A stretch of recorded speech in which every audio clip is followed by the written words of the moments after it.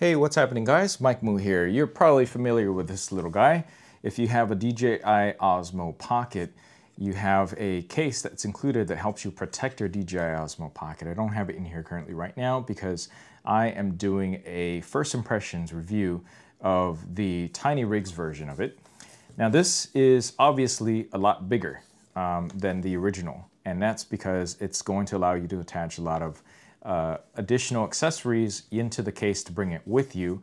And for that low price of under $20, this was $16.99 when I went and purchased it to try it out off of Amazon.com. If you're interested in it, please go ahead and use my link down below and that will give me a little bit of commission for anything you purchase at that time uh, with Amazon. So onward with the first impressions. All right, so they designed this to handle a couple things, not just hold your DJI Osmo Pocket like this originally did, and also allow you to keep the keep the interface module, whichever one that you want to use, go ahead and attached on there. It also allows you to hold a bunch of other things directly all at once. Otherwise, what's the point of having something bigger, right? So right here I have the thumb control module over here, but I could easily use the original DJI Osmo attachment uh, to GoPro type attachment mount and have that attached in there at the same time while I have it in here and still work out just fine. So I have the thumb control module in there. Got the main unit. Over here, I actually have the wireless module base also installed already in there. And then I have four ND filters, one, two, three. And um, wait, actually, one, two, three. Where's the fourth one? I thought I had four of them in there. Let me open this up. Here we go. So I have four of them here. One, two, three, four. These are supposed to hold the ones that are very specifically designed for the DJI Osmo. If you have a third-party one that exceeds the size of the frame of the lens, they warn that that's not going to work. So I got four of them in here Plus, I have a micro SDXC card slot uh, right over here. So you can't see it from that angle, but it's all over there. So you can feasibly hold all these things in there and it is reasonably snug inside. Now that is also one of the problems that I have uh, with this is that everything's really snug in here. It's really a little bit more difficult to get out. So you'll see that I have an opening here for the USB-C slot to charge it at the same time and also the LED light slots uh, remain open so you can see the status if you are charging and see when it's fully charged directly from here and while all keeping it in a case. Plus there's actually an additional slot over here for you to go ahead and attach. I believe another one of the modules over here on the side. So it makes fairly decent good use of the space assuming that you carry and attach all this stuff with you or want it on hand. Here's the problem with it though. See, everything's really nice and tight and snug. At least this is the way it is right now. Maybe it might get a little bit looser. But with all this stuff attached, I'm finding I'm having a little bit of difficulty getting this out of the case. It takes a little bit more effort. And sometimes when I'm putting it in or taking it out, I fear that I might actually break the gimbal portion of here, the delicate portion over here. So this is with the wireless casing. The, the front part comes out okay.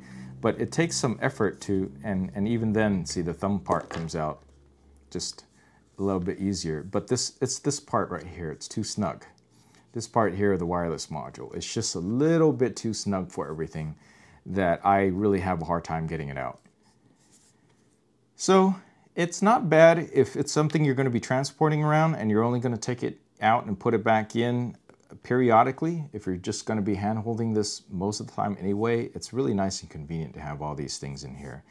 And uh, another issue with this is just that if you don't have a filter that fits exactly, precisely, just right over the lens portion, like these do right here, I'll have a link down for these below, right here. If it exceeds this lens portion by a little bit, they warn you that it's not going to fit very well, and it's, it's true. I've tried another set that just exceeds it just a bit and it doesn't really fit very well in here. Taking in and out, you do have to be careful, uh, but it's not, it's not as difficult to get in and out as it was for that whole wireless module where I attached to the Osmo case. And then here, of course, I have the little lightning adapter that uh, attaches just fine. The micro SD card slot uh, could, could take a little bit of, of work to get out, but it fits in really snugly, so you're definitely gonna lose, not going to lose your uh, micro SD card in any given situation. Plus there's a little indentation in here so that uh, to make sure that if you if you did have uh, if you actually did have one of the filters attached when you put it back in here, it should be okay. Now, using it without the wireless module uh, and putting it back in is not as difficult to do. However, um, I'm still really fearful of, of just the way that it slides in. So I'm gonna, I'm gonna attempt to do that without the wireless module now. Sorry, I'm shaking up the whole table as I do this, a little bit of an earthquake. All right.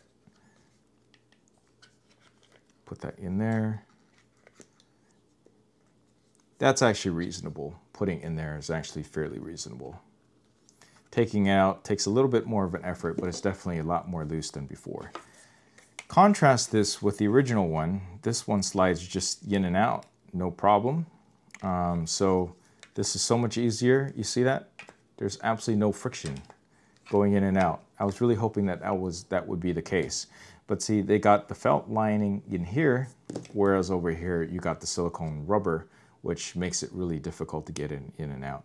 If this was somehow be able to switch out for this, it might actually work a little bit better. But because of the difficulties getting in and out, and with the wireless base that I was hoping to be able to use it, and also because the incompatibility with usage of the Polar Pro tripod mount, which I did a review on, uh, for those reasons, I am going to have to pass on this. But, you know, that's just me. If this is what it is, if this carries everything that you need uh, and want to carry around, and for only $16.99 for all of this, it makes sense for you, definitely by all means, uh, go ahead and um, try it out. But I just wanted to share this with you uh, about my issues with it. Now I'm just going to demonstrate one last thing, and that is that this thing uh, attaches just fine and fits right over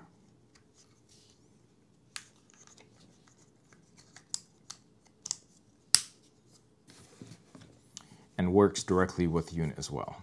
So I have this in here like that, and these cutouts, see that? Everything fits well. This actually fits much better, and it's actually snug, like also really snug.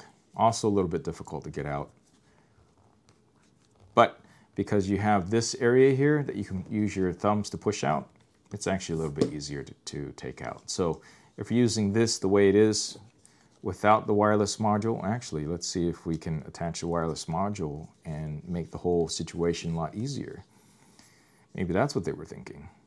Okay, so now I'm gonna go ahead and put this in, slide that in. Okay, slides in really snug, just like before. Taking it out is, is easier with this, but still requires quite a lot of work.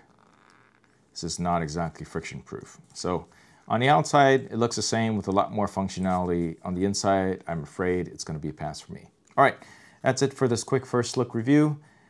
Please give it a like, subscribe for more. Thanks for watching, and uh, happy July 4th, and I'll catch you in the next video.